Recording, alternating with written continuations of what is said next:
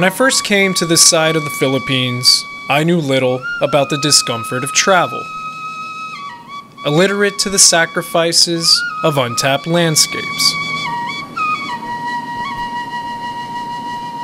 There is nothing like returning to a place that remains unchanged to find the ways in which you yourself have altered.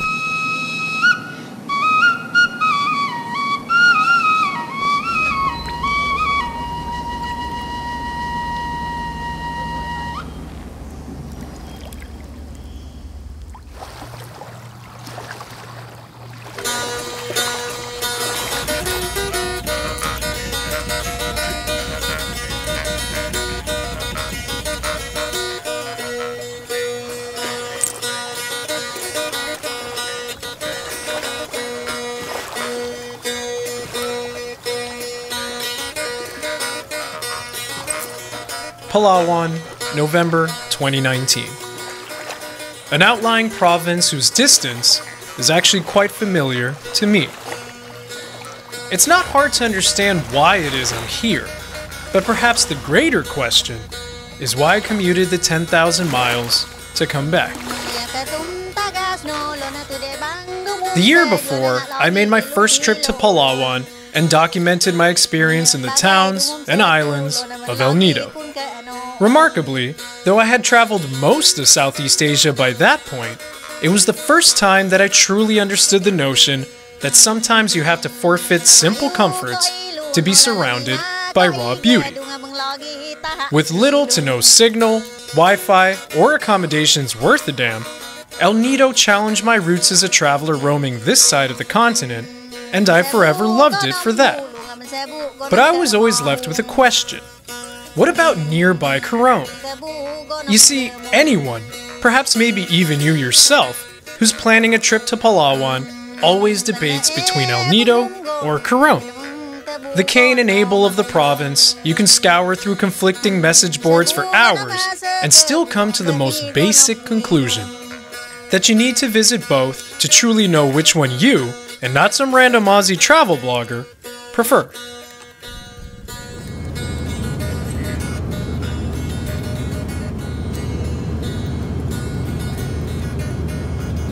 So I'm back. On another rinky dink propeller plane out of Cebu, descending into a place I have no expectation for.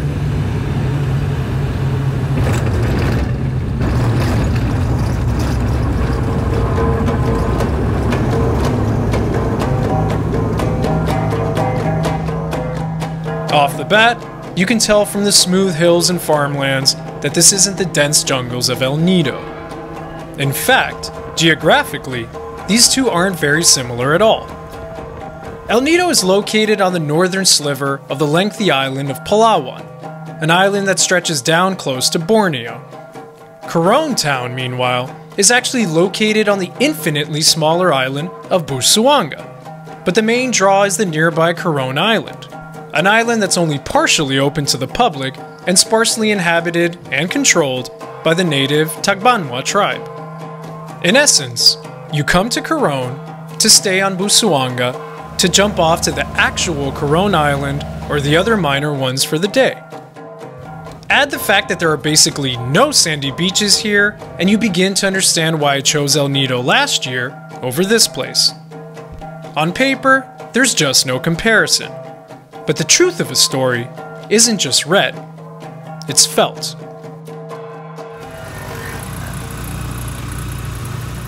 I hop on a screeching trike riding shotgun down the bumpy roads of Busuanga.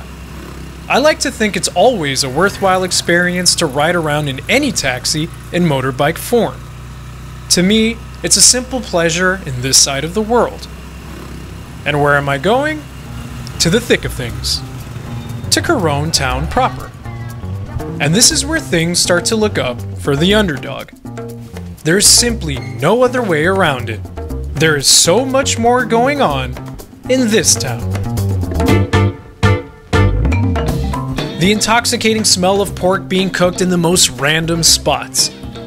Trikes whizzing by almost as if to remind you this ain't your typical sleepy Filipino village.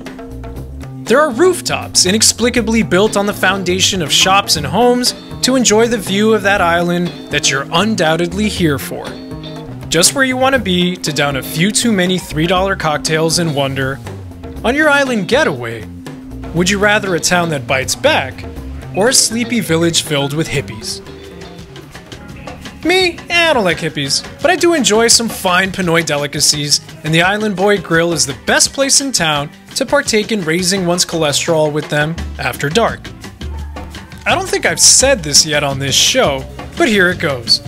Filipino food is hands down, bar none, the single most underrated cuisine not just in Asia, but in the entire world as a whole.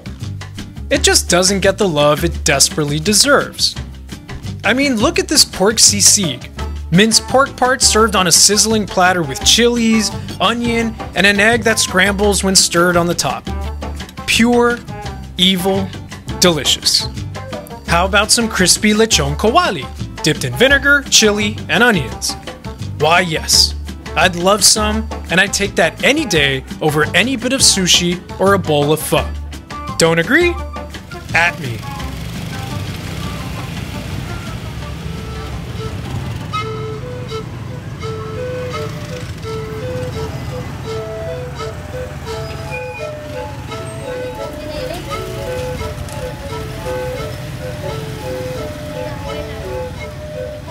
After dinner, I take a stroll around town to walk off that shooting pain in my left arm. It's dark, very dark, the byproduct of a blackout. Something that's actually quite common on most far flung Filipino islands. I'm no stranger to these, but this one, this one is remarkable. Regressing to our collective roots marks the innocence of this moment. The coziness of walking through a town dimly lit by individual candlesticks, propped up in every home and every business. It's a virtue I feel in traversing through a simple kind of life. Uncorrupted, as I often wish life could be.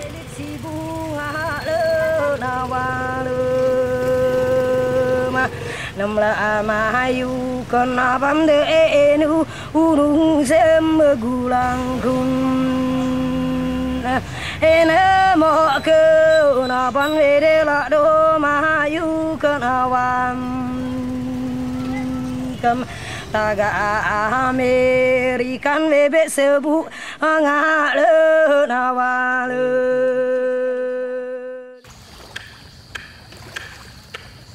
So, the thing you'll undoubtedly do when you come to Coron. The inevitable island tour package. I did one last year in El Nido, so I figure, why not go and then compare the two? If you've seen this show before, you know my feelings about these tours are mixed. Some can be good, and some, like in Borneo, can be dreadful. This time, however, I'll also be renting a private boat on another day. But more on that later in the show. So off I go, taking the quick trip from Coron Town Pier to Coron Island. Now, once you're here, you'll notice almost all tour operators will offer you packages with preset itineraries that often look like this. My theory when booking these type of packages is simple. Always go for Tour A and never, ever book the overbloated itinerary found in an Ultimate Tour. Why? Because the more places you visit for the day, the less time you'll have to enjoy each one, and to me, nothing is worse than being rushed on my vacation. And that brings us to the first and most popular stop, Kayangan Lake. So for the sake of saving you much time, I'll tell you that this ain't the best spot on the tour.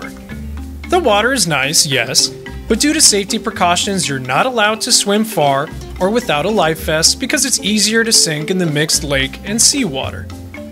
Nice water, beautiful scenery, but a small, crowded, and restricted space.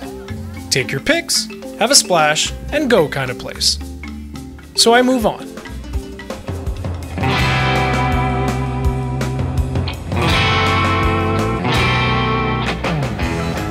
Now, the price of one of these tours is roughly $30 per person and it's really not a bad deal if you consider that it's a whole day trip and lunch is included. And that lunch isn't your typical run of the mill fare. No, no, it's actually something to look forward to when you're burning up in the blistering Palawan sun and you haven't eaten since the tour picked you up from your hotel at 7 a.m. So around noon, the captain docks on the tiny Coral Garden Island and calls for lunch. On today's menu, grilled fish, some roasted veg, the ubiquitous mouth-watering grilled pork belly bits otherwise known as tocino, and of course, no Pinoy meal is complete without adobo, this time made with chicken. The fact that this was somehow cooked on a makeshift wooden boat speaks volumes about these guys. And their food doesn't just hit the spot, it makes me truly happy. Happy that I'm fortunate enough to enjoy this meal on a little wooden hut overlooking what really is a utopia on Earth. Just one of those moments you try and drag on as long as you can.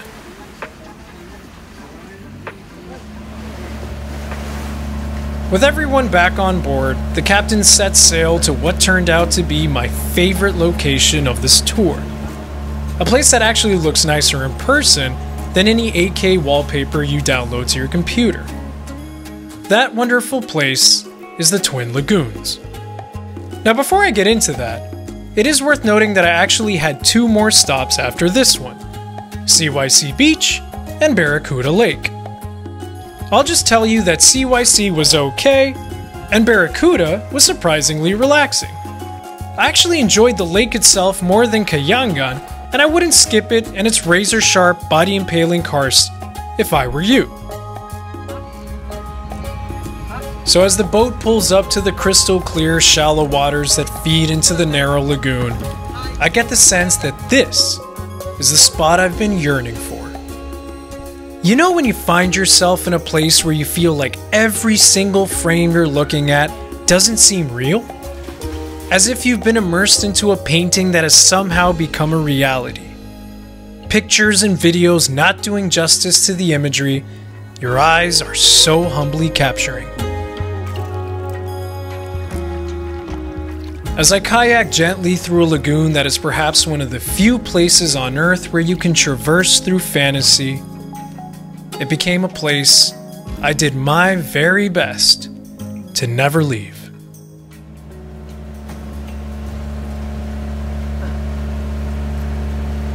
Eventually, though, reality kicked in, and that meant I had to set sail.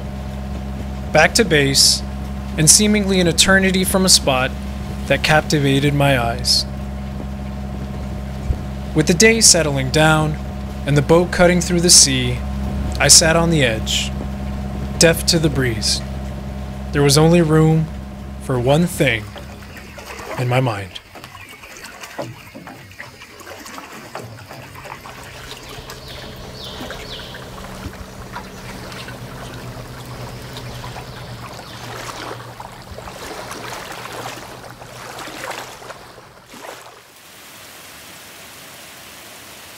Another early morning downpour on Busuanga. The resort I'm staying in is quaint and has everything I need, but it's far. Inconveniently far. I made the unusual choice of booking away from a town this time. And as nice as this resort is, my suggestion to you would be to stay in Coron town proper. It's central, lively, and you don't need to find a ride and drive 20 minutes into the outskirts and farms to get to your room. If you were wondering, accommodation options aren't amazing or plentiful in Coron, but they sure do beat El Nido.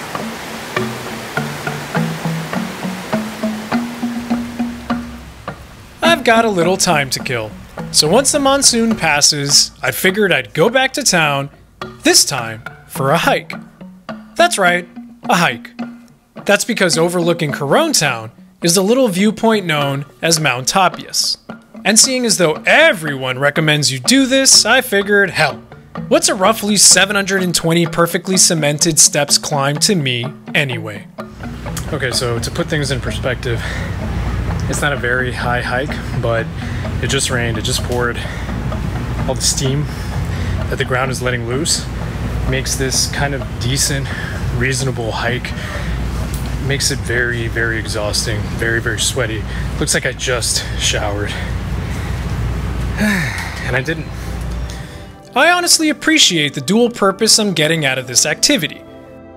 I get to see some nice views while simultaneously burning off the excessive amounts of pork I've been eating lately. Once I get to the top, I can only wonder how backbreaking it must have been to properly pave this climb. Not to mention the commitment it took to erect that cross and the giant Hollywood esque letters. That kind of dedication is truly admirable, as if to tell anyone who comes, we care about this town and we're glad to share it with you. As I take in the views that would ultimately be better during the sunset, I do have a few things to get off my chest. You know, I've always despised the typical YouTuber travel vlogger format that is drone shots, tropical house music, guy's girlfriend running around in her bikini in slow motion playing with her hair. To me, that's cheap. That's just bad travel. It doesn't really show you how a place is, it doesn't tell you anything, it doesn't share a story. So I'm gonna be real with you. This hike right here, not sure if it's worth it. Despite what any travel blogger may write online, it just doesn't seem to be something that if you're really, really just short on time, it's not something that you want to waste an hour and a half to two hours doing. If you've been eating a lot of sisig, a lot of crispy pata, you feel hefty, you want to go for a run and feel a little bit better about yourself, so a couple of abs show, sure, come. Go up this, take some pictures, post it on Instagram, but otherwise, you could probably skip it.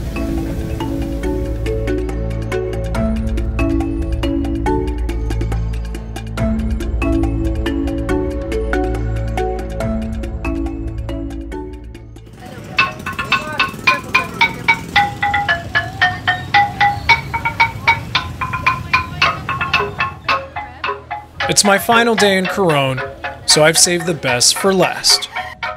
Something I recommend anyone visiting Palawan do, budget permitting, is rent your own boat with a captain. There's no itinerary, no massive groups of passengers, no time constraints. It's wherever you want to go at whichever pace you'd like. You'd be a fool not to do this.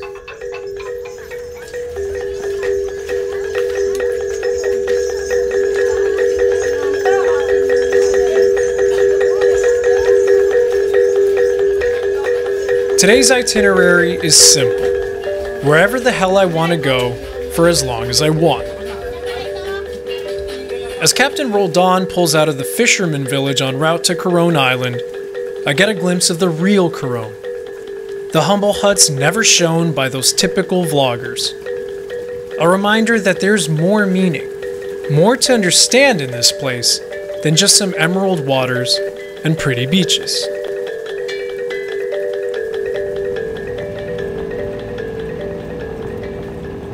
I want to make today about taking my time, about soaking everything in. So I've planned just two spots on the itinerary, and first up, a quick dip at Banul Beach on the tip of Coron Island. Something about these little huts poking out of the slick vertical limestone gives this beach a Swiss Family Robinson feel to it. Like that daydream you repeatedly have about getting away from it all and ending up under a palm tree sipping on a coconut. The same dream where this is my home and the shallow ocean is my front yard. But knowing how I do things, I've left the very best for the last part of the last day. Right beside Lake Kayangan lies a quiet place. A place relatively unbothered by the hordes of island tours that swarm to the lake as if to be a treasure hiding in plain sight. For me, this single greatest spot out of all the little nooks and crannies I've been to in all of Palawan. The Green Lagoon. So you can do the public tour, you're going to deal with 10, 12 people, you're going to have limited time in each stop, maybe 20, 30, 40 minutes in each stop. Or you can do a private tour like this one, explore a place where not a lot of vessels can actually go into, and you're going to have a better time overall. This is definitely a way to go. A lot more expensive, obviously. Yeah, it's unreal, man. It's unreal. It's important to note why it is that this place is so special to me.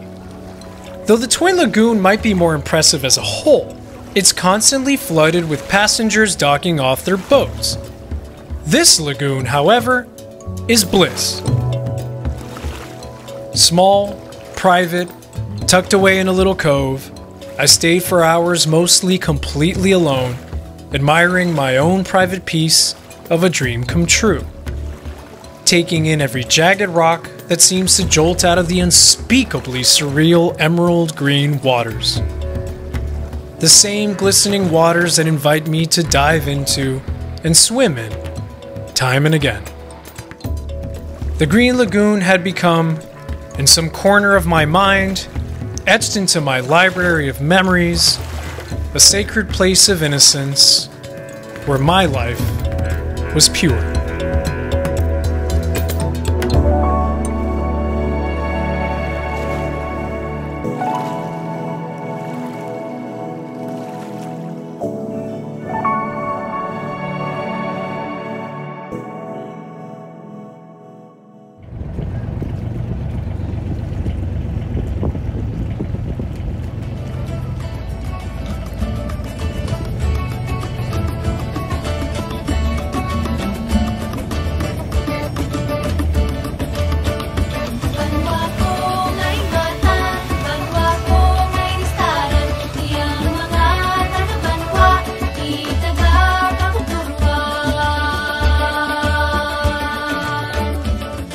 It never hurts to revisit a place that you felt you didn't completely understand.